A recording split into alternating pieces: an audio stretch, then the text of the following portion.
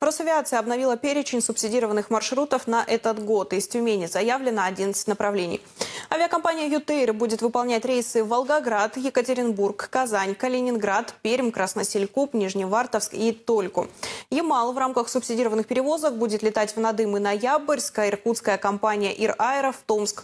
Из Тобольска можно будет улететь в Казань, Нижневартовск и Сургут. Приобрести билеты по льготным тарифам на субсидированные рейсы могут пенсионеры, инвалиды, многодетные семьи и граждане до 23 лет. Дату открытия продаж нужно уточнять у авиаперевозчиков.